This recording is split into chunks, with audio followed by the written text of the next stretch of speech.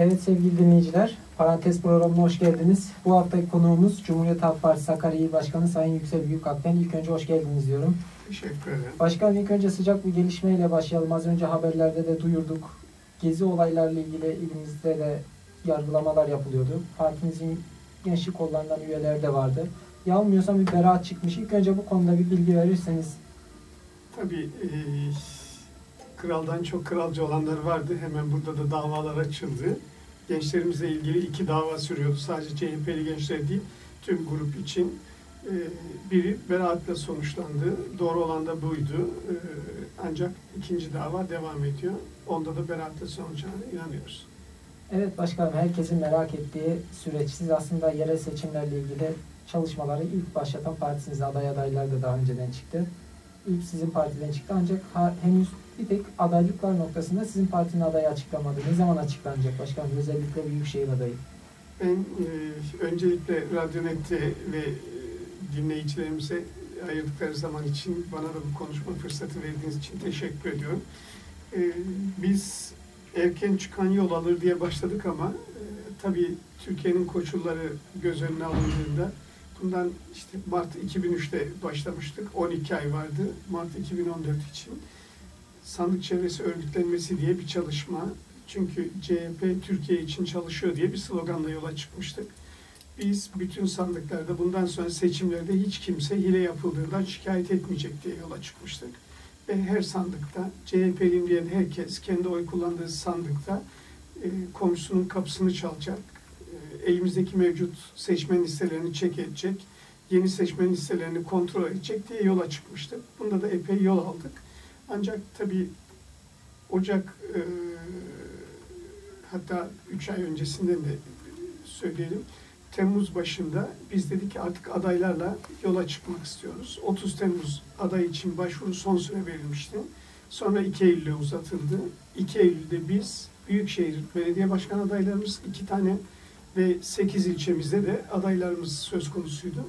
Ancak diğer 8 ilçede tabii basında yanlış anlamalar da oldu. Aday bulamıyorlar gibi falan ama haklı olarak o ilçelerimize de arkadaşlar büyükşehir adayı belli olsun. Ondan sonra karar vereceğiz. Herkes bir ekip çalışması bu tabii.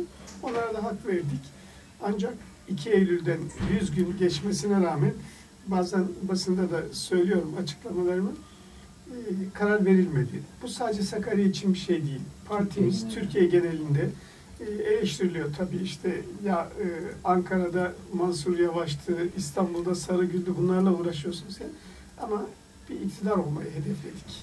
Biz inanıyoruz ki yerel seçimlerde ne kadar çok belediye alırsak bu iktidar olmanın ön koşulu diye bakıyoruz. Ve bu kadar titiz üzerinde durulması da gecikmesi de bundan dolayı e, tabii çok değişkenler olan bir denklem. E, hemen karar verip de hadi ya Sakarya'da ne olursa olsun deme şansları yoktu. Onun için genel merkezi de hak veriyoruz ama artık yetti dedik. E, Bugün MYK vardı. E, Pazar günde parti meclisine sunuluyor. Bizde büyükşehir belirleme yetkisi genel merkezin. Onun için e, bugün iki adayımızın önerisi MYK'da konuşuldu. Parti meclisi son şeklini pazar gün verip pazartesi günü zannederim büyükşehir adayımızı açıklayacağız diye umuyoruz. Haftaya. Ama hemen ardından bir hafta içinde de 16 ilçemizin de adaylarını kesinleştirip ortaya çıkacağız.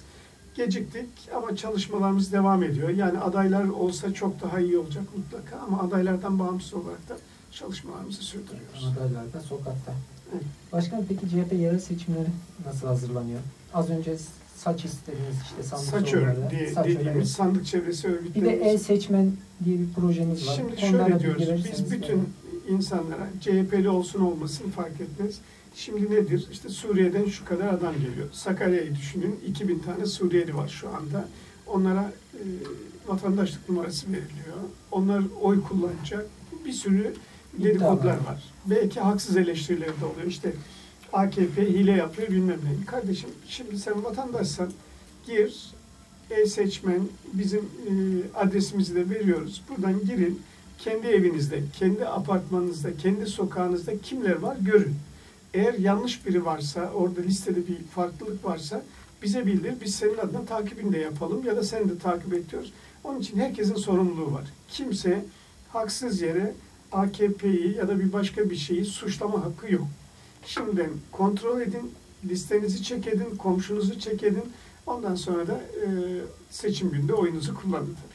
Size CHP'nin internet sitesine girecek. Evet. Orada hanedeki Kendi TC numarasını ve baba adını girdiğinde kendi Hanelerde apartmanda var, kimler var onları görecek. Eğer orada tanımadığı biri varsa diyecek ki ya şu bir yanlışlık var. Biz onu takip etmeye hazırız. Ya da kendi ismi var mı yok mu kontrol edecek.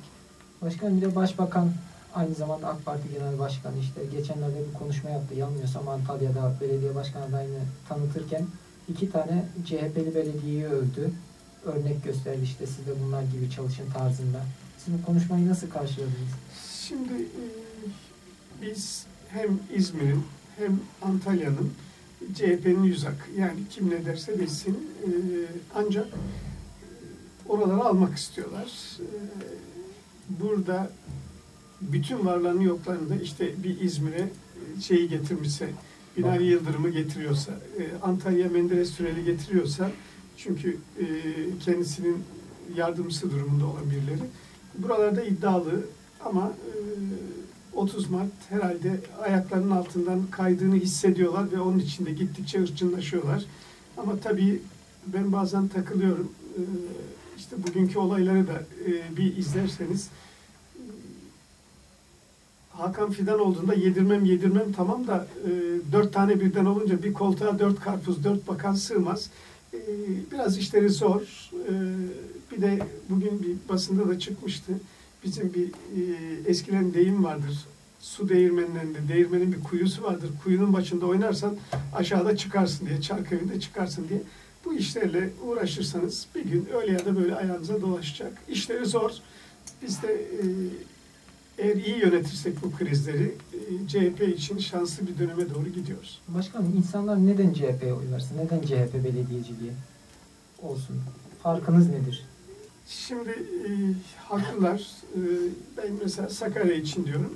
Hiç kimseyi kötülemek falan anlamında değil. Sakarya'da bir vatandaş külahını önüne koyacak.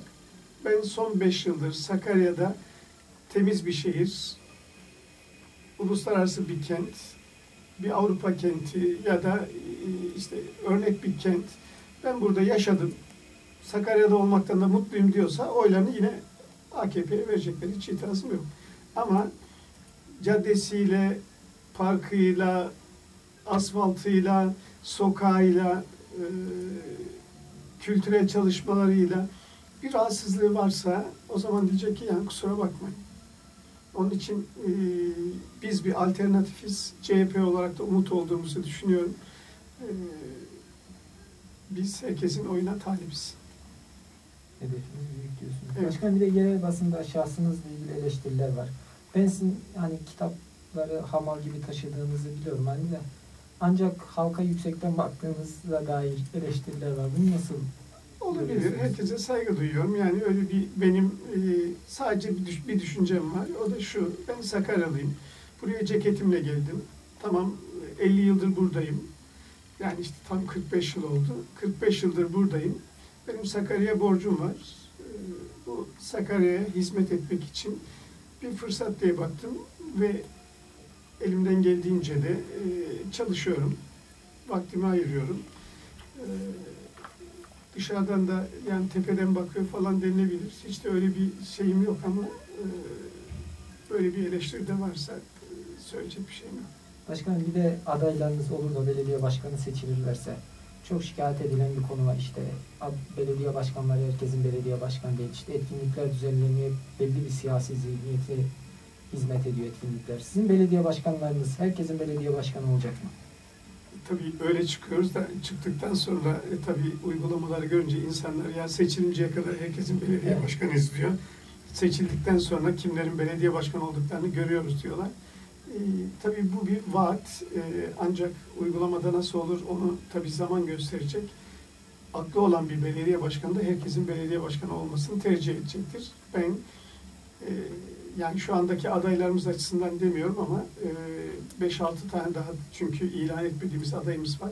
Hepsinin ortak söyleminin e, biz öyle yüzde elliyi, yüzde kırkı, yüzde altmışı değil, insanları kucaklayacağız. Zaten onu yapmazlarsa da e, bir dönem kalırlar. E, ondan sonra bir daha o fırsatı da bulamazlar.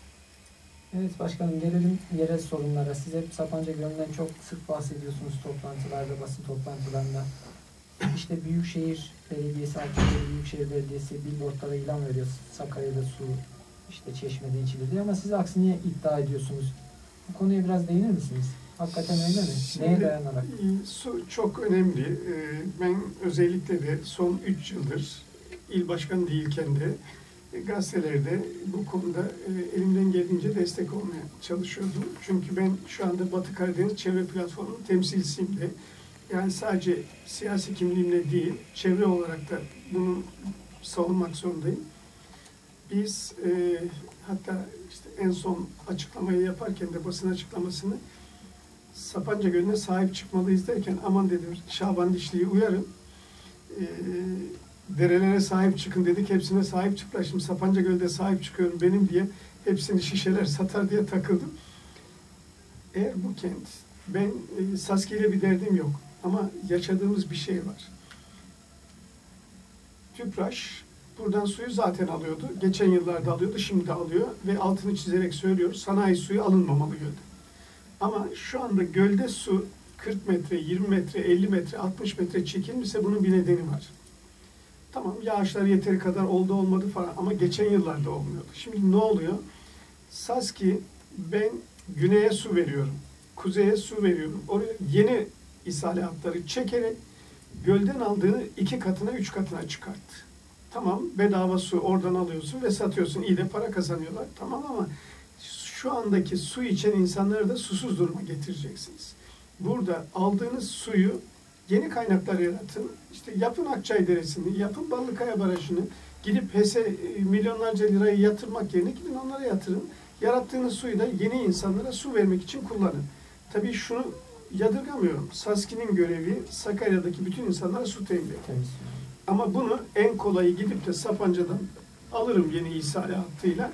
Basarım suları, İki e, tane veririm dediniz mi o zaman gölde işte bu hale gelir. Korkum şu, tamam bir yılda 60 metre çekildi ama bundan sonraki çekilmeler çok hızlı ve bataklık olacak, çamur olacak. Ben hep şunu iddia ediyorum. 3 yıl önce Sakarya Üniversitesi çok güzel bir çalışma yapmıştı. Dedi ki bir su kurultayı topladı, İzmitliler geldi, bilim adamları geldi falan. Göldeki kirlilik sıralamasını yaptıklarında birinci sırada lastik tozları ve egzoz gazları vardı. İkinci sırada zirai ilaçlar, üçüncü sırada evsel atıklardı. Ya diyorum ki yani bu Saski'nin kabahati değil. Saski şunu savunabilmeli. Benim gölümü kim kirletiyorsa arkadaş bedelini onlar öder. E, otobanı buradan geçirdin. Her geçişten de parayı alıyorsun. Ama benim gölümü kirlettiğinde e, para ödemiyorsun. Kardeşim ben bunun etrafını tümünü kuşatlayacağım. Kolektör yapacağım. Kenarında da 20 metrelik gezi bandında yapacağım. Bunun bütün bedelini otoban gelirinden alırım diyebilmeli. Onu demiyorlar. Yani buradaki kirlenme belli. Yağmur yağıyor, otobanın üzerinde simsiyah su olduğu gibi göle akıyor. Ve lastik tozu. Yağmur yağmasa da her gün bu toz gölün üzerine biniyor. E, Çark Deresi'ne su vermedikleri için o su tahliye olmuyor, kendini yenileyemiyor. O zaman o suyu bize içiriyorlar. Ne yapıyorlar? Biz diyor arıtma yaptık. Ya, arıtma doğru da sadece klorluyorsun arkadaş. Yani senin İlyaslar Tepesi'ndeki öbüründe de yaptığın iş klorlama. Bu lastik tozu da klorlamayla gitmiyor. Allah'tan yani bilimsel bir çalışmalarla ilgili, klorlama ile ilgili de üniversitedeki e, hocamız beyanatlar verince kıyamet koptu. Tamam, e, benim söylediğim şu, bu göl biz sahip çıkmalıyız. Gölün kirlenmesi otobanla birinci derecede kirleniyorsa biz bu gölü kuşaklamalıyız. İzmit'te Seka Parkı'nı, Gölcük yolunu bir düşünün. Denizin kenarında onları yapabilenler şurada gölün kenarında zaten göl çekildi 50 metre içeriye. 20 metrelik bir bandı yapmak, kolektörü yapmak o kadar zor değil. İki, zirai ilaçlardan dolayı etrafta yapılan tarımda kullanılan zirai ilaçlar bütün yağmurlarla falan sular olduğu gibi göle gidiyor.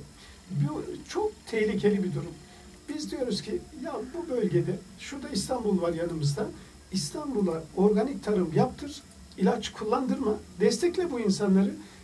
Kıvırcığı bizden gidiyor, karalahanası bizden gidiyor, ayvası bizden gidiyor, eriği bizden gidiyor.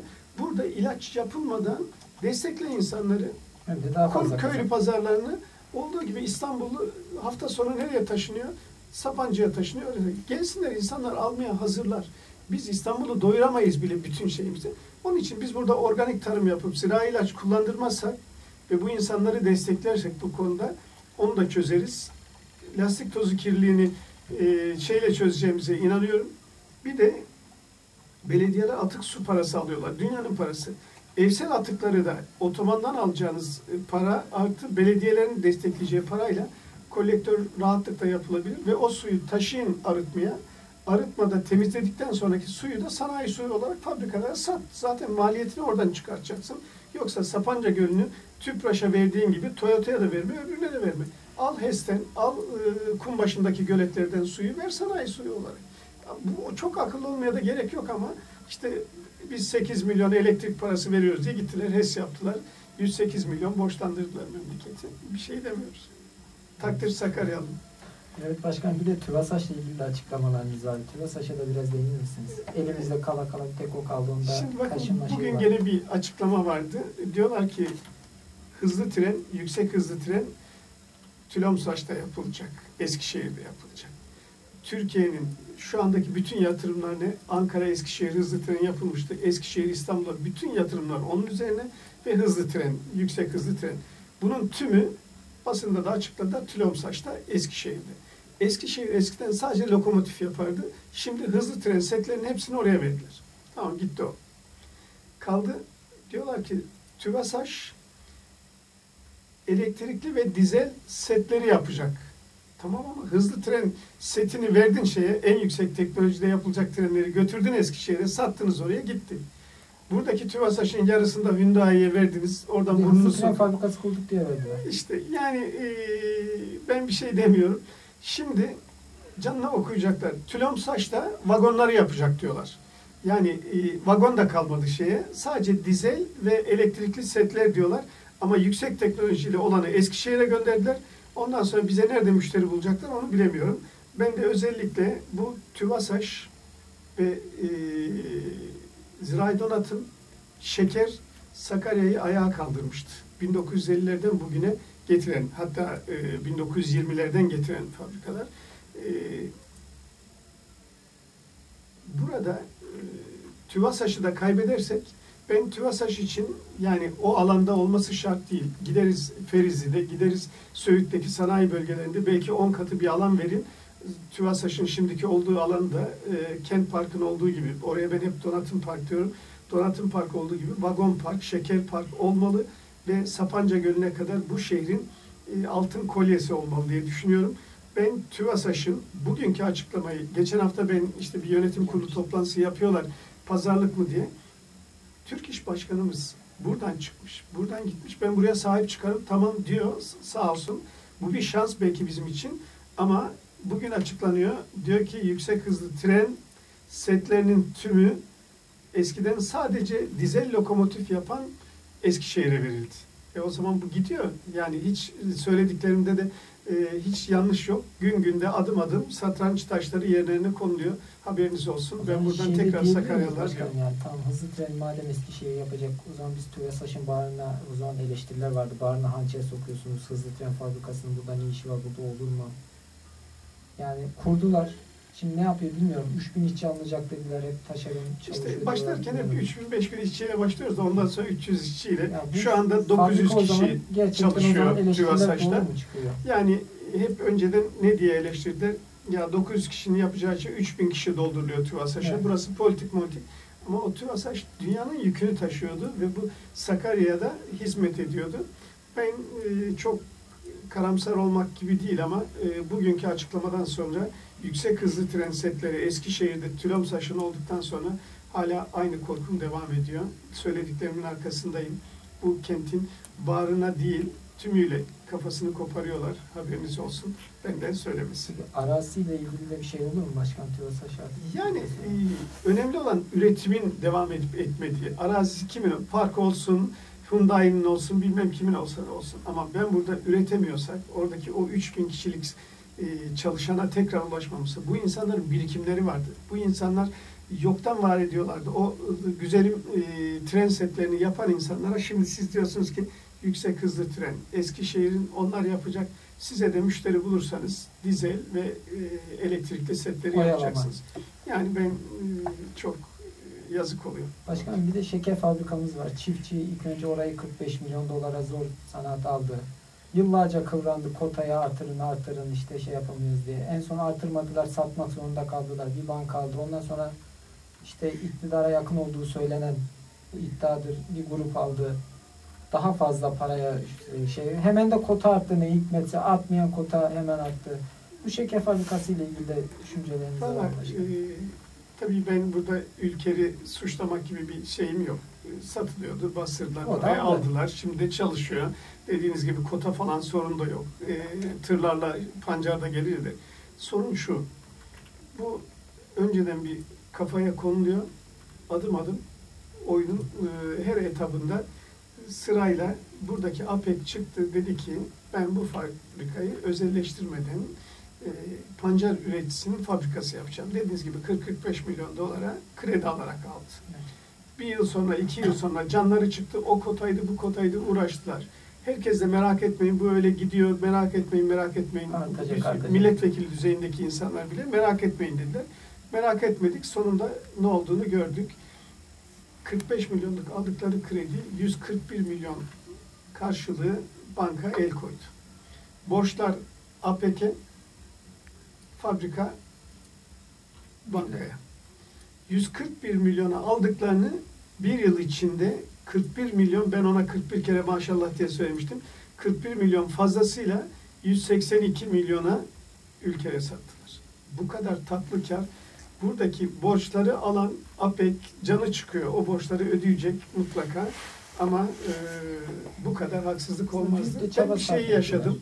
Yani bu konu gündeme geldiğinde şeker fabrikası buradaki sendikada o kadar güzel ısrarla bütün sivil topluluklar sahip çıktılar ve tatlandırılmış e, GDO'lu tatlandırıcıları falan gündeme getirdiler ve çok güzel bir e, şeyi e, kamuoyu oluşturmuşlardı ve tatlandırıcılar konusu Türkiye'de kamuoyu oluşturuldu. Ama ülkeye satıldığında sendikada dahil biz halimizden memnunuz. Tabii maaşlar alınacak edecek ama günübirlik çözümleri değil buradaki o fedakarlığı yapan APEC, Pancar Kooperatifi üyelerinin sırtına yıkılan yükleri insanların o insanlara vefa borcu vardı ama maalesef satıldılar. Ee, onlar da bunu görüyorlar. Tabii bunun e, bedelini e, bu işleri yapanlar ödeyecekler. O insanlar şimdi ellerinde bir şansları var. Oy verecekler. Bir buçuk yıl içinde üç kez oy verecekler. Üçünde de hesabını soracaklar diye düşünüyorum.